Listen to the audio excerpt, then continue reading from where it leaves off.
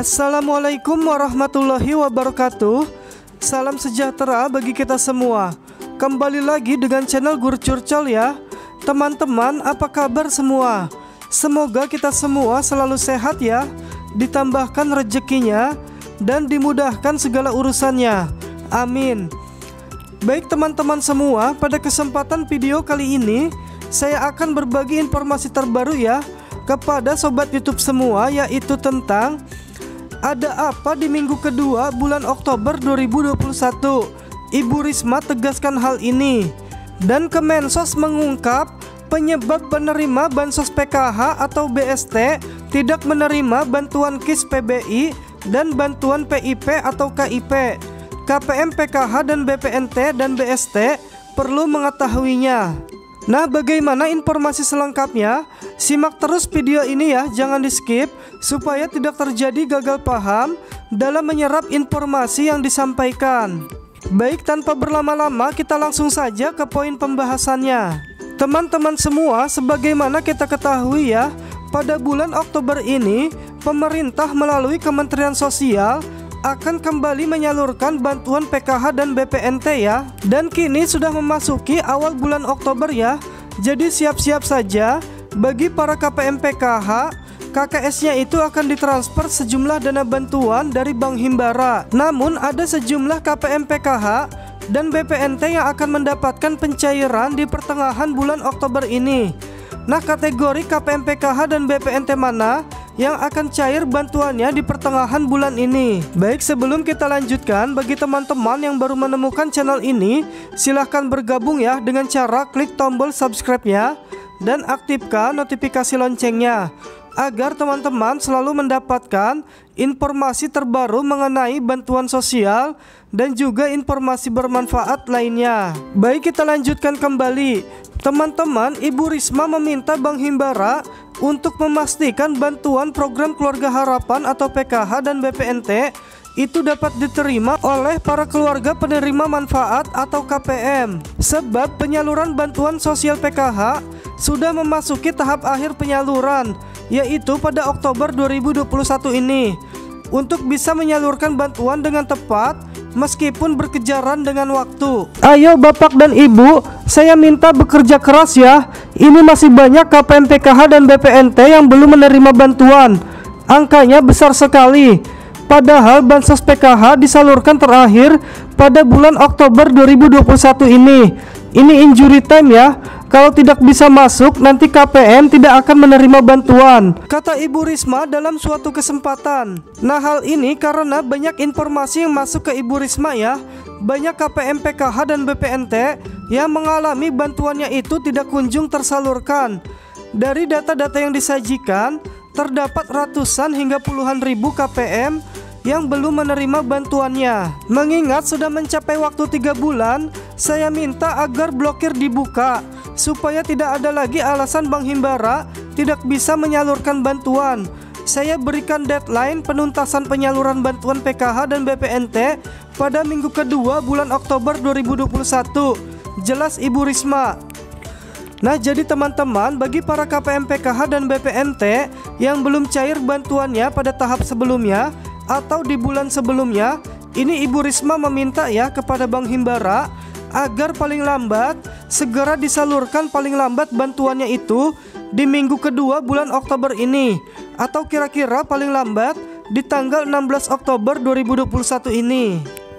Jadi bagi KPM PKH dan BPNT kategori ini bisa dipastikan ya untuk bantuan PKH dan BPNT-nya yang belum cair di tahap sebelumnya akan cair di pertengahan bulan Oktober ini karena Ibu Risma sudah memberikan deadline kepada Bank Himbara sampai pertengahan bulan Oktober ini harus segera disalurkan.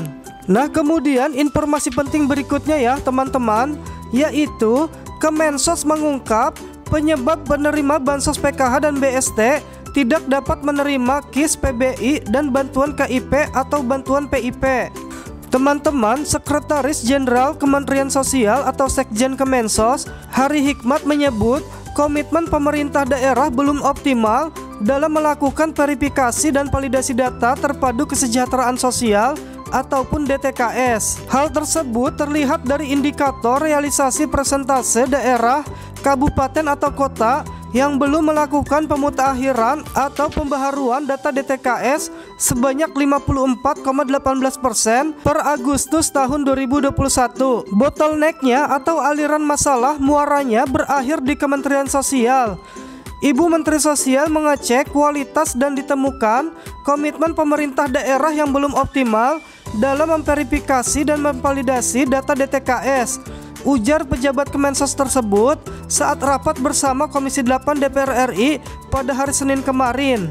Pada proses pemutakhiran data, masalah yang ditemukan termasuk pengusulan baru penggantian KPM, dan penambahan data KPM yang belum dilaksanakan oleh pemerintah daerah. Jadi ini maksudnya ya teman-teman, masalah-masalah bansos seperti pencairan bansos itu terlambat cairnya dan bansos tidak tepat sasaran, sebenarnya masalahnya itu ada di pemerintah daerah, kota atau kabupaten. Namun ujung-ujungnya masalah tersebut akhirnya berakhir di Kementerian Sosial. Nah, di sini teman-teman agar dipahami dulu ya, Undang-Undang Nomor 13 Tahun 2011 itu sudah jelas mengatur bagaimana kewajiban pemerintah kota atau pemerintah kabupaten untuk memperbaharui atau mengupdate data secara terus-menerus.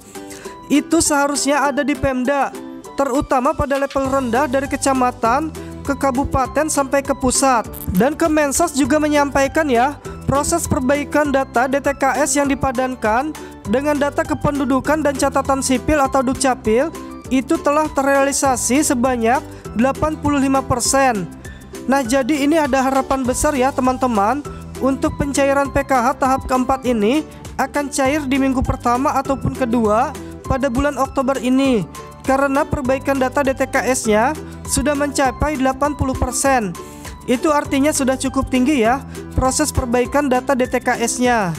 Nah teman-teman Kemensos memperbaiki data DTKS ini berdasarkan nomor induk kependudukan ya Jadi bila ada KPM PKH atau BST yang belum menerima bantuan Kartu Indonesia Pintar atau PIP Dan bantuan Kartu Indonesia Sehat atau KIS Hal ini terjadi karena nomor NIK-nya itu tidak terdeteksi Akibat data DTKS dari pemerintah daerah yang belum diperbaharui. Bisa jadi ketika turun ke lapangan, ada keluarga penerima manfaat atau KPM yang belum menerima bantuan KIS atau PBI dan anaknya belum terima bantuan KIP.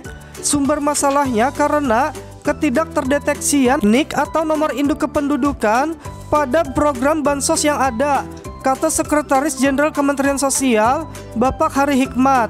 Jadi seperti itu ya teman-teman. Semoga saja KPM PKH dan BPNT maupun KPM Bantuan Sosial Tunai atau BST yang belum mendapatkan kartu Indonesia Sehat dan bantuan kartu Indonesia Pintar ini bisa segera mendapatkannya ya karena ini merupakan bantuan tambahan juga ya bagi para KPM PKH, BPNT dan BST. Dan semoga bantuan PKH untuk tahap keempat tahun 2021 ini bisa segera diterima ya oleh para KPM PKH semua di minggu ini atau di minggu kedua. Amin ya robbal alamin. Nah demikian tadi informasi dari kami mengenai ada apa di minggu kedua bulan Oktober 2021. Ibu Risma tegaskan hal ini dan Kemensos ungkap Penerima bansos PKH dan BST tidak terima KIS PBI dan bantuan KIP. KPM PKH dan BPNT dan BST perlu mengetahuinya. Jangan lupa tekan tombol like-nya jika dirasakan informasi ini bermanfaat. Terima kasih atas perhatiannya. Wassalamualaikum warahmatullahi wabarakatuh. Salam sejahtera bagi kita semua.